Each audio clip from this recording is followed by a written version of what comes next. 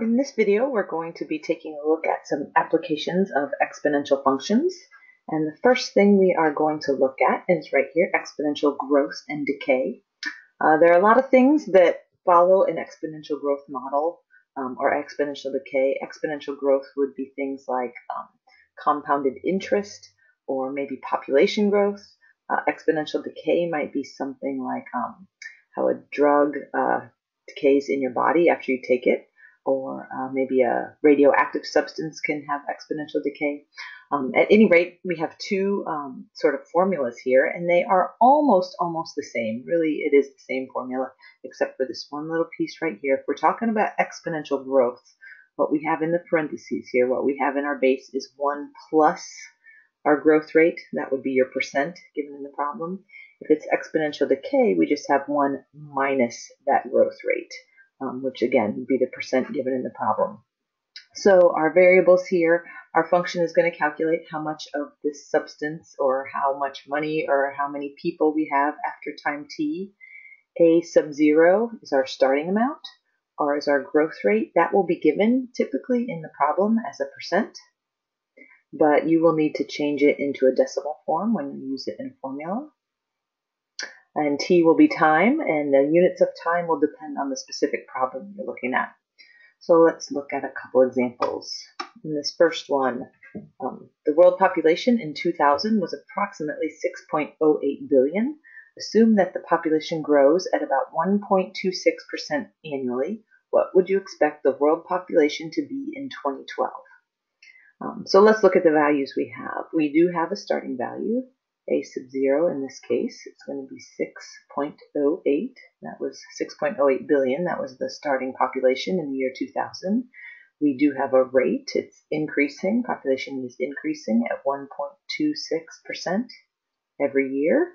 And again, in the problem, we want to change that to a decimal, so we'd be using that as 0.0126. And then finally, we do have a time. Um, we knew the world population in the year 2000 and we want to calculate it in 2012. So our time is going to be 12. 12 years have gone by. And we can plug all of those into our fam into our formula here. So we are going to calculate the amount, the population, after 12 years have gone by. And that's going to be the starting value times 1 plus, since it's exponential growth, 0.0126 raised to the power of, oh, sorry, t. And t, our time in this case, is 12. Okay, we've have everything plugged in here on our formula, so it's just calculator work at this point. Um, depending on what kind of calculator you have, if you have a multi-view calculator, you might be able to enter this all in one statement. If you use the parentheses, let's see if I can show you here on this online calculator, 6.08 times 1 plus 0.0126. And then we want to raise that whole thing, this button right here, x to the y, or on your calculator it might look like a caret. That's how you get an exponent, raised to the power of 12. And you can see that gives us, we probably round that to a couple decimal places, 7.07 and since um, our original number was in billions, that number is also in billions. So we are estimating that the world population in the year 2012 would be about 7.07 billion. Now, if you have an older calculator that doesn't have the multi-view feature, um, you might need to enter this in a little more uh, stepwise, kind of take into account the uh, orders of operations. So you would do the um, arithmetic inside the parentheses first. Hit enter and get a value. And then you would raise that to your exponent, raise to the power of 12, hit enter again, and get that value. And then we would multiply that by 6.08. And there it, there it is, our same answer. So again, that just depends on what version of calculator that you have. Okay, let's look at another example. In this one, we've got an adult takes 400 milligrams of ibuprofen. Each hour, the amount of ibuprofen in the person's system decreases by about 29%. How much ibuprofen is left in the body after six hours? Okay, so again, we have an initial amount, our A sub 0 is 400 milligrams. We have a, a rate. This time it's a decay rate, not a growth rate. It's 29%. And again, when we go to use that in our problem, we're going to change it to its decimal form. And we also are given a time. We want to know how much ibuprofen is still remaining after six hours. So here, this time our formula, we want to know the amount of ibuprofen after six hours. And that's going to be 400 times. This time our base is 1 minus 0.29, again, because that's exponential decay. Ibuprofen is being metabolized by our body, so that's going to get less over time. Raised to the power of 6. Again, once you have this formula, at this point, calculator work, make sure you're using your exponent button, not your multiplication button for that 6. And it turns out that it's 51.2 milligrams.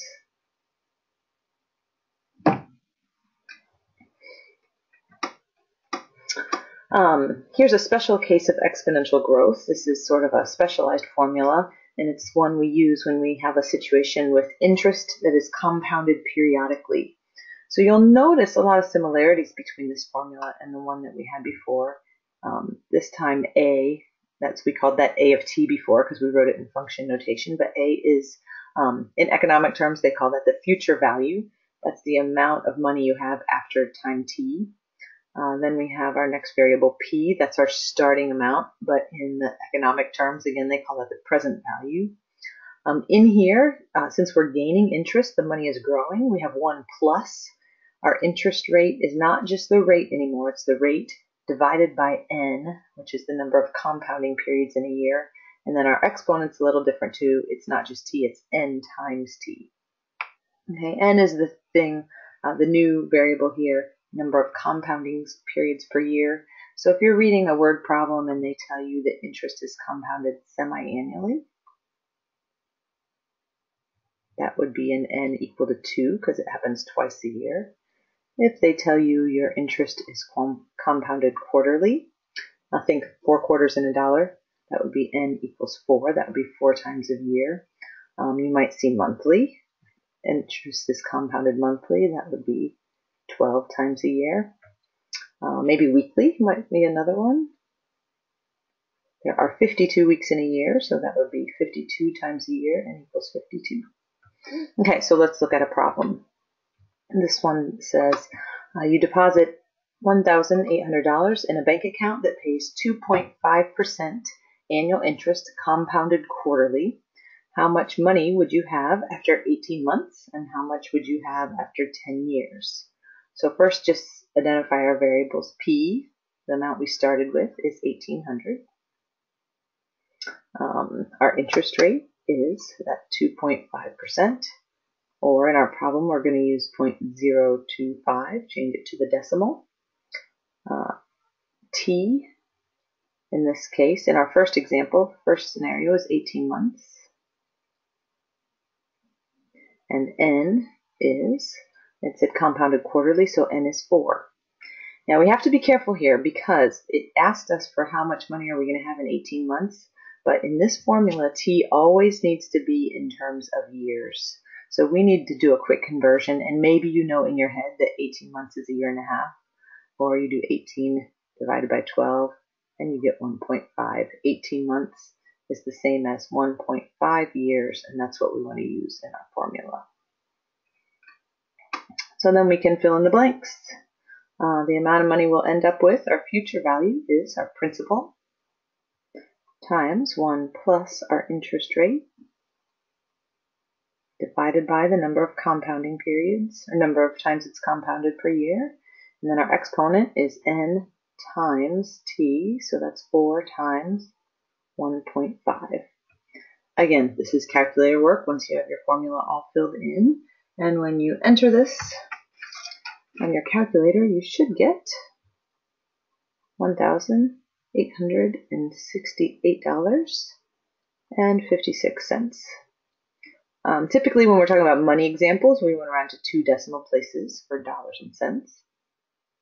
Um, this one has a follow-up question. How much money would you have after 10 years? We'll use the same formula that we have right here on this line. Only difference will be we'll change our um, t value, our time. So our future value, the amount of money we're going to end up with, is still 1800 times 1 plus 0.025 divided by 4, because it's compounded quarterly. This time our exponent is 4 times 10 for 10 years.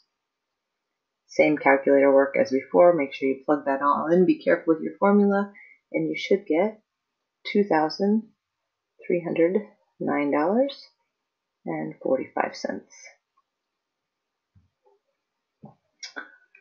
Um, here's another compound interest formula, compound interest problem, but in this case they kind of turned it around on us. You want to make sure you read these carefully. Uh, they didn't tell us how much money we started with. In this problem, they told us how much money we are going to end up with. So let's read it and see here.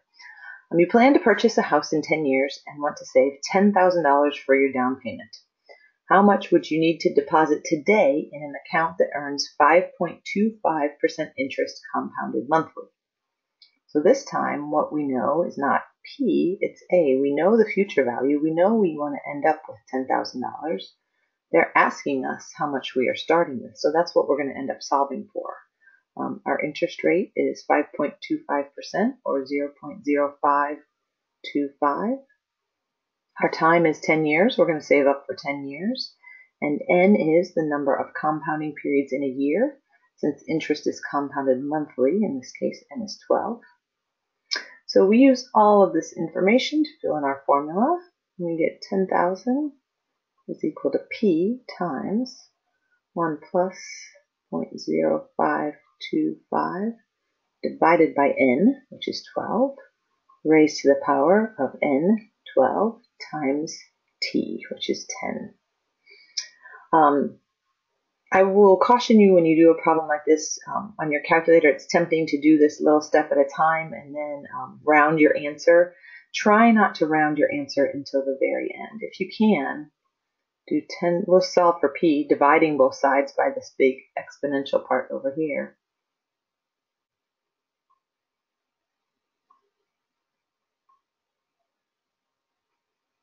Uh, 12 times 10 is 120. I'm just going to write that out.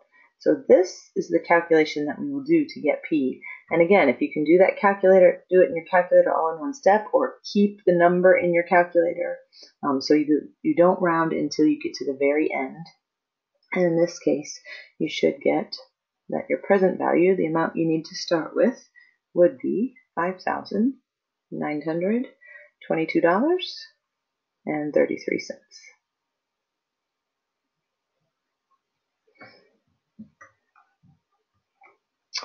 Um, we could also talk about things that have what we call continuous growth.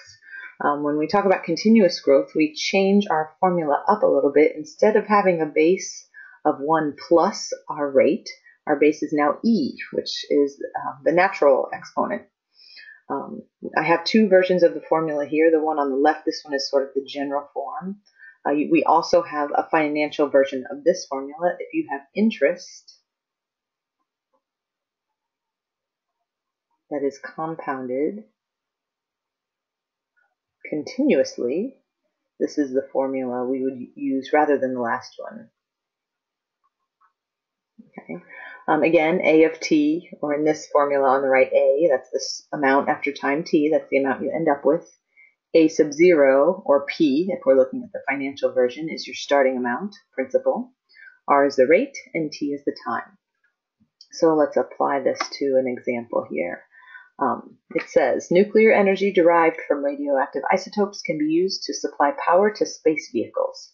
Suppose that the output of the radioactive power supply for a certain satellite is given by this function. Here it is, A of t, listed for us. In the function, the amount of power is measured in watts, and t is time in days. What is the starting wattage of the radioactive power? And then what will the power output be after one month? Well, for that first question, what is the starting wattage? We don't need to do any calculations. We just need to understand our formula. And compare this formula, our, our problem, to the um, format I have up here at the top. And notice that the number in place of A sub 0, A sub 0 is our starting amount, is 30. So that means that this radioactive power supply is starting at 30 watts. That's the answer to our first question. And then what will the power output be after one month? So for T, are we going to use 1 or are we going to use 30? Well, it's important to go back to the problem and tell us, go back to the problem and it tells us right here that T is time in days. So we want to use 30 for T when we're asking how much will the, how much power will be left after 30 days. So A of 30 is 30, E to the negative 0.003 times 30 days. 30 goes in for T also. Um, again, this becomes a calculator problem. Make sure you can find that E button on your calculator, that E to the power. And when you type this in, you should get 27.4 watts.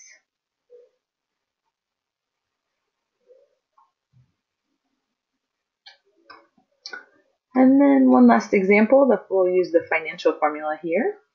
Um, if you deposit $4,500 in an account earning 3.2% interest compounded continuously, how much will you have after 14 years?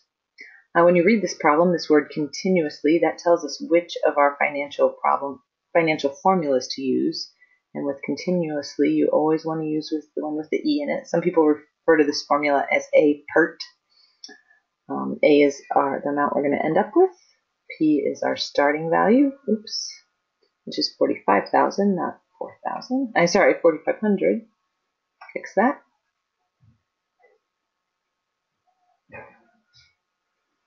E to the R, which is 0.032, and T is 14. We want to know how much we'd have after 14 years. Uh, and when you plug this into your calculator, you should get $7,043 and 30 cents. Again, rounding to the nearest hundredth, so we get our dollars and cents. And that's it.